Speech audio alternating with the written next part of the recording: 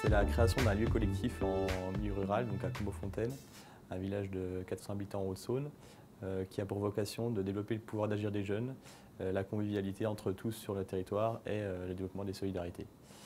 Donc notamment à travers la création d'un café associatif, d'un local jeune, de services aussi pour le territoire comme des espaces de travail collaboratif et un gîte de groupe.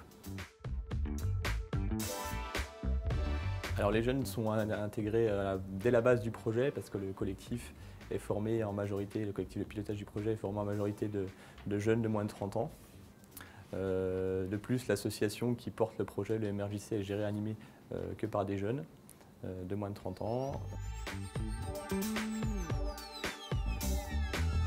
Alors en effet, la, première, le fait d'avoir une, politique jeunesse territorialisée euh, évidemment essentielle.